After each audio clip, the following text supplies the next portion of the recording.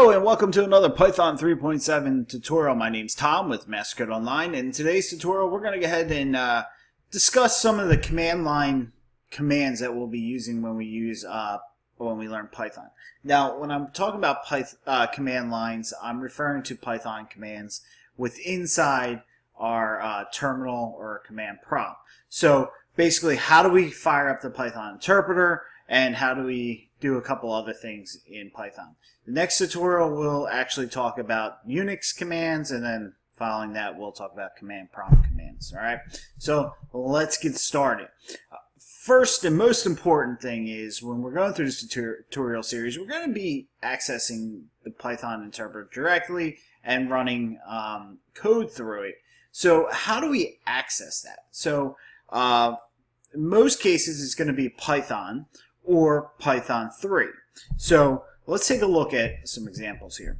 First off, if I type Python in, this is going to invoke an interpreter. What interpreter? Well, it depends what version and what your paths are on your operating system here. So my, if I type Python hit return, I'm going to get Python 2.7. We're not learning Python 2.7 because Python 2.7 is on the way out the door.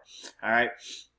So in this case, I have two versions of Python installed on my computer, and the reason for that is because I still have some clients that use Python 2.7. So I gotta have access to both of them. So if I back out of here by pressing Control D, not Control C, um, we'll go ahead and do Python 3. All right. Now Python 3 is going to bring up Python 3.7. That's what we're learning here, folks. So take a mental note of how you access the Python 3 interpreter, all right? Because that's what we're going to use throughout this tutorial series. So in my case, it's Python 3. All right, so I'm going to press Control D again to get back out of this. So that's how I invoke the Python interpreter. And you guys will learn how this all works as we move through the tutorials. I just want you guys to make mental note of some of the commands we have available to us. So when you guys see me do something, you guys are understanding what's going on. Uh, the next thing I would like to discuss is how do we run a Python script or a Python file. All right, so it's the same way we invoke the interpreter. So in my case, I'm going to use Python 3, and then I'm going to call the Python file name. So let's just say it's script.py. Now I don't have an actual script set up. I should have probably set one up before we started this tutorial, but I'm sorry, I do not. So if I run Python 3 script.py, that's going to run the Python file through the interpreter.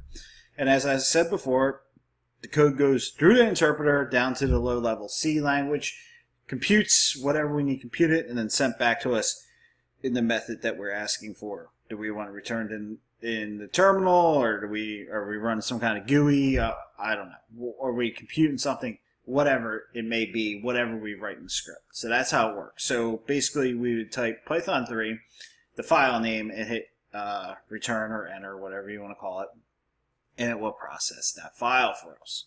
So that's how we call um, files, and you'll see this as we work through the tutorial series.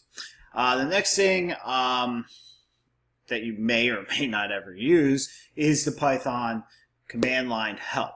Now, there's three ways to invoke this, and this is helpful if you're um, if you get lost or you forget a command. So the three ways to uh, invoke this is going to be Python for me is Python 3, could be Python for you, and then hyphen question mark. This is going to bring up the help page, and as you can see, it has a bunch of the um, command line commands here. For instance, uh, hyphen B, issue a warning about string bytes instances and byte array instances.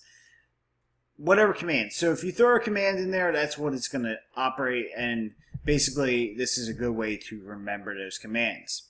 Alright, another way to call this, I'm going to clear my screen using Command K, is Python hyphen H. going to bring up the same exact um, uh, screen we just saw. So let's go ahead and hit Command K one more time, and then we're going to do Python dash dash help, and it's going to bring up the same thing. So three separate commands bring us to the same window. Okay. Um, so that's how we get to the command line help window through the terminal.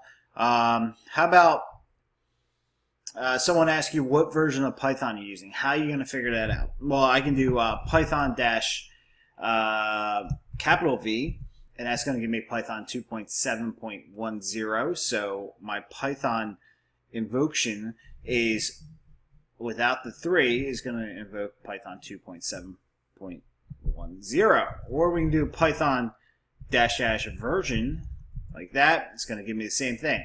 Same thing goes for Python 3 dash V capital is Python 3.7 and then Python 3 dash dash version is going to give me Python 3.70. Um, all right, so there we go. Uh, next thing is uh, how do we exit the uh, Python interpreter? So we do Python 3. All right, so I'm inside the Python interpreter now. How do we exit this? Now, Python gives us three options to exit. First one's going to be uh, we type out quit with uh, parentheses. That exit, exit, exited us. Woo. Uh, if you press up, you're going to get your previous command, so you'll see me do that quite often. So I want to bring Python 3 back up. I want to invoke Python again. Um, if I do exit with parentheses, that's also going to exit the interpreter. How about if I press up one more time? And the last one's going to be Control D, and that's going to exit us from that. Um, so that's our basic Python commands that we'll be using um, throughout the tutorial series. If you have any questions, please let us know at mastercode.online. Otherwise, we'll see you in the next tutorial.